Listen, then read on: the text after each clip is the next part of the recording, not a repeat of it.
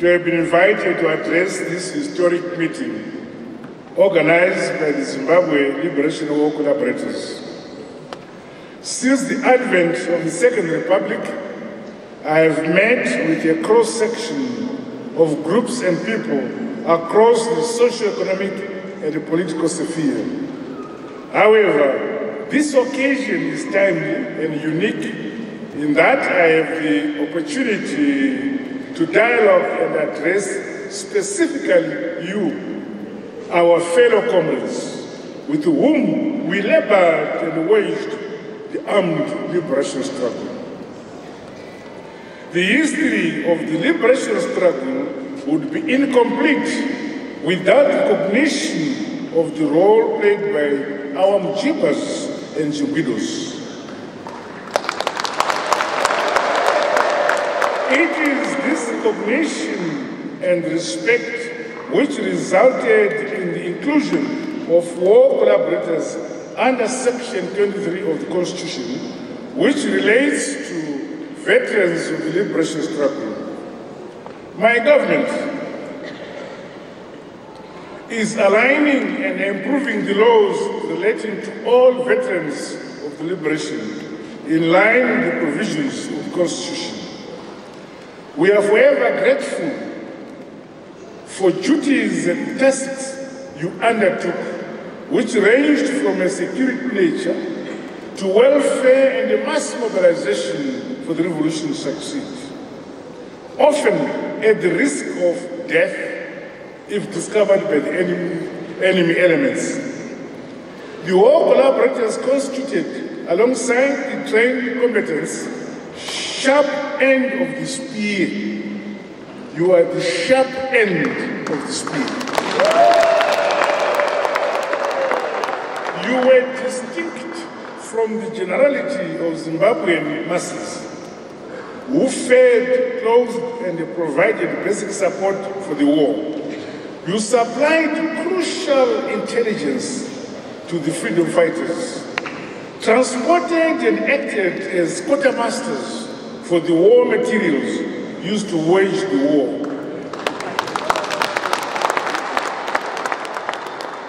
You gave shelter and facilitated the treatment of wounded fighters and some cases received rudimentary military training and they fought alongside the formerly trained cutters. In the post-independence period, you have remained steadfast and unwavering in your support for the party and promoting our liberation heritage and ethos. Even during difficult periods marked by internal contradictions, the time of the Gamatox, the time of G40, within the party, you remained consistent and persistent. Always, always adhering to the correct line of the party. This was often at the risk of isolation, victimization, and even expulsion from the party. Today, I want to personally commend you for your loyalty and commitment to our revolutionary party. Similarly, we recognize and pay respect of the heroes and the heroines that have emerged from among you, such as the late national heroine, your former patron Shuvai Mahofa, and the many others who lie at our provincial and the district heroes, sh- uh, heroes shrines throughout the country. Comrades, just as it was in the struggle where we kept each other abreast with developments, it is equally important for us in the Second Republic to stay briefed on the course we are taking and the journey we must walk in our quest for economic development, modernization of economy, industrialization of economy, and the betterment of the quality of life of our people. I am confident that you, the war collaborators, being experienced, disciplined, Organized, united and loyal cadres will continue to play your part in building the Zimbabwe we all want and we all deserve. As we do so, let us draw inspiration from the road we have walked by mobilizing and fighting the good fight. This time it is not a war of guns, but a fight for economic development and attainment of our national vision 2030. Your role has always been defined by the circumstances in existence at the time. As such, I urge you to rethink your role in this new paradigm of our development. You must use your mobilization skills to organize yourselves women and youth to participate in the economic prospects that we are creating as a party and government. Intricate organization, mobilization, constant communication, unity and a close contact with the people is what made us succeed during the armed struggle. This is what will make us succeed in this period of our country's history. We were not found wanting then, I have no doubt that we will not be found wanting now. The bedrock of any economic development and economic prosperity is unity and peace among all of our people.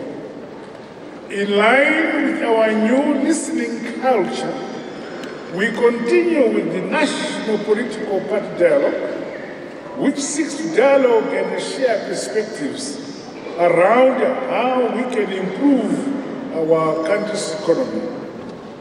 Our economy is in transition. Our country has lagged behind in development due to the close to 20 years of illegal and unjustified economic sanctions imposed on our country. There is need for us and the Second Republic to leapfrog and catch up with other countries around us. We must speedily put back our country on the right course for purpose of development. To do this, my government, drawing from what we set out to achieve in our party manifesto, adopted a national vision to become an upper middle income economy by 2030.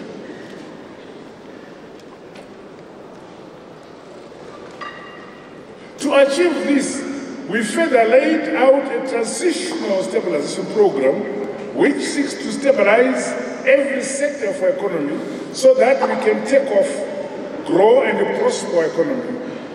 The transitional stabilization program and the comprehensive reforms we have undertaken are already yielding very positive results across all sectors. We have now adopted our own currency as a nation. Going forward, we will continue to ensure that the appropriate safety nets for the vulnerable members of our society remain in place. There is no country that has developed without its own currency. Zimbabwe can never be an exception. To achieve this, our national vision and leapfrog our economic development, we will need the help of friends, partners, and investors from across the world. During the hardest times of economic sanctions, we had friends who stood by us, like the People's Republic of China.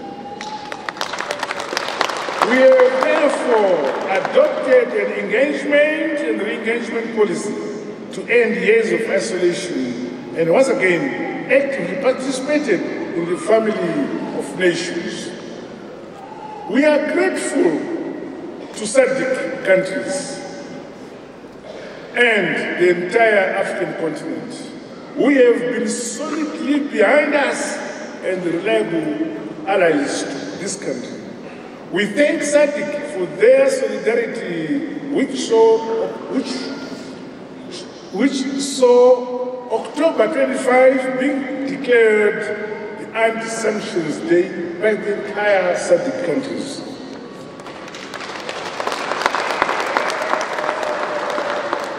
Business people among us must take full advantage of this policy by actively participating across all sectors, especially the agro-value chain industries, mining, manufacturing, tourism, infrastructure development, and SMEs, among others. We continue to score notable successes in the various sectors of the economy as we recover.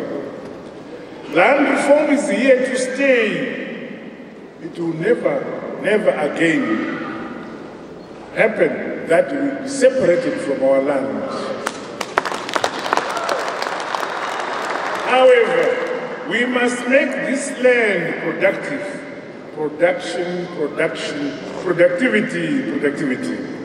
During the course of the year, we improved our producer prices to make it more profitable for farmers to remain on the land. We will step up efforts to increase our ability to mitigate the challenge of climate change by increasing water harvesting uh, abilities and efficient water usage.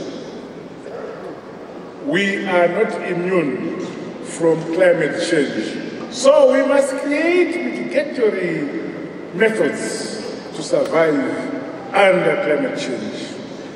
I urge farmers to work hard on the land during this 2019-2020 summer season and to follow the advice of our meteorological department and Agritex office with regards to the season's weather patterns as well as the need to plant short season varieties and the more traditional crops. In the mining sector, the total mining sector output continues to grow and we aim at achieving a $12 billion industry by 2023. The program has begun. I'm aware of the chicanery in the gold mining sector and the corruption attributed to some officials in the provinces. The net is fast closing on them.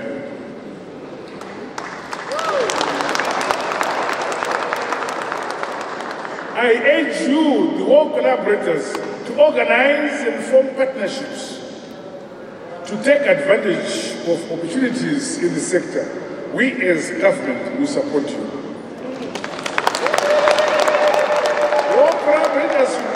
Advantage of the ongoing modernization and industrialization drive to grow vibrant and sustainable SMEs, which provide goods and services and products which address the daily challenges that face our people. In the tourism sector, also provide uh, war collaborators with business opportunities. You should be active participants in the development of this industry also.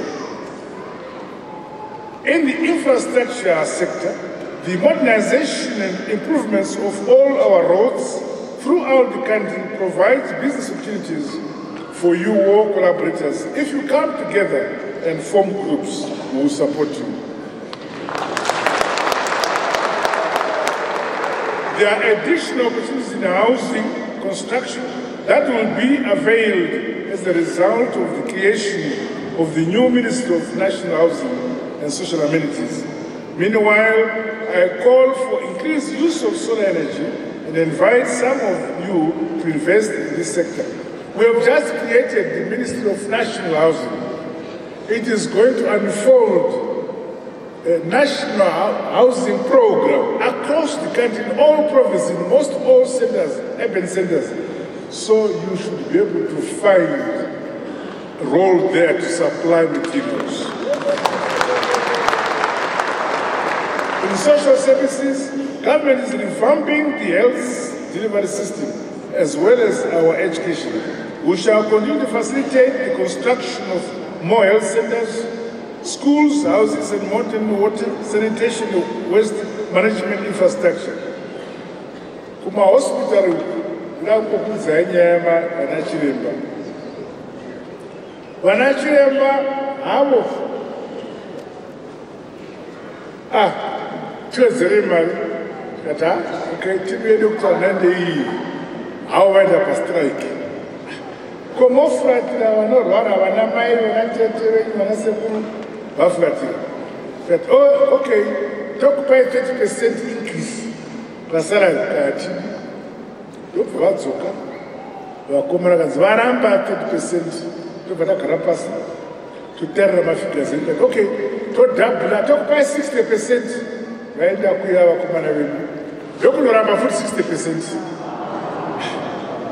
Aiwa chindai chidzokerai kumabasa. Tigotaura imi muchiita sei? Muchishanda tokuvakirai dzimba accommodation kuti mugare e, muinstitutional houses.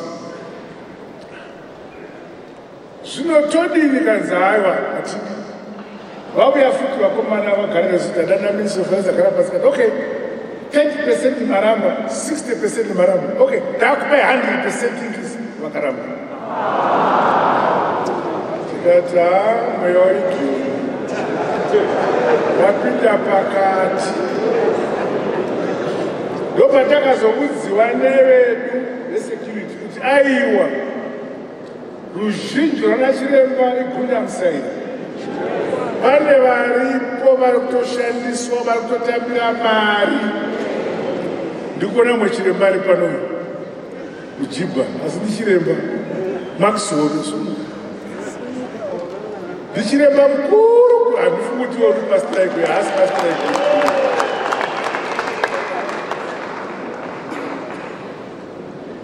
saka zvotodini vana vana bishop vekatolika vebva vauya apo ndandava na vice president vanga vadzoka vachimwana two days or three days vadzoka kati hande tesiri yama yangu tikatosangana navo vana chiremba. Takurukura. Kati a zvakanaka. Tokupai tokanzura kuti for the next two days nokuti vakanga nyaenda kukoti koti katiyo strike yavo is unlawful its illegal. Now kana iri illegal kuno kupfuura mazuva akati kopiwa eh, murayiro wekuti the employer can now take disciplinary action. Saka the employer hurumende ikatora disciplinary action vazhinji vakadzingwa nekuti vangasipa basa there was no need of saying tina employer tina employee asingavi kubasa. Two months almost three months havavi kubasa. Saka nokudzingwa saka vana bishop vakati aiwa tokumbiramo apo mazuva okuti anenge auya pamazuva ivava tinomukangamira zvose zvivi zvose zvakaitika tokangamwa kupinda zvake basa rake toenda mberi. Tikati ha zvakanaka ndobva tavapa kwakangouya 46 ndofuka vamwe havana kudini vana kuuya asi vamwe iko zvino not vesecurity manje. Ivo vana chiremba two days ago makauya kati a tachifirigwa saka vamwe vakauya nezuva ndangonditaura ipapo voti incapacitated hatikwanisi kuinda kubasa. Vamwe vanoti hatikwanisi kuinda kubasa. Vanogara mudzimba dziri muhospitari anokona kuzongofamba kubva pano kuinda kumota yangu. Andi handikwanisi kuenda mari yebhasi rinofamba kupi bhazi kubva pano kuinda datime hospitari asi unomwana asiri pabasa ka unomwana kuhighfields unomwana kwamutari unomwana kubrawayo asi kufamba 100 meters hagoni asi takuziva kuti chii?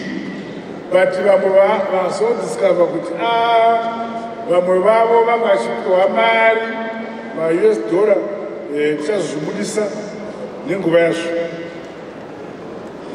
Nezuro vakauya vamwe. Devolution. Government is promoting development that leaves no one behind through the implementation of the devolution policy. War collaborators are encouraged to actively mobilize our people to ensure that economic development projects are spread from most districts and provinces, drawing from the resources available at the local level. In conclusion, we must be more determined to achieve economic prosperity, I call upon you all to be disciplined, be united, and be peaceful in whatever we do. Corruption is not acceptable. Let us all esteem hard, honest work. The Association of War Collaborators must be more development oriented and seek to actively participate in the economy. My administration will readily support you in this regard. I exhort you to remain loyal to the party and its leadership, as well as steadfast and vigilant in the work of the numerous detractors bent on dividing the party for their brutal political agendas and narratives.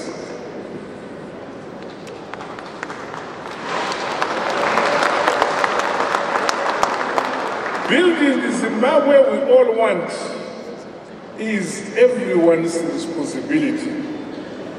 Let us play our part by working hard. My government will continue to create an enabling environment for prosperity. Let us take the time to take time to plant the right seeds. The time for harvest will surely come. Pamberine ZANU PF, Pamberine ZANU PF, Pamberine Kubatana, Pamberine Kubatana, Pamberine Barum Sangano, Pamberine Barum Sangano, Pamberine ZILIWACO,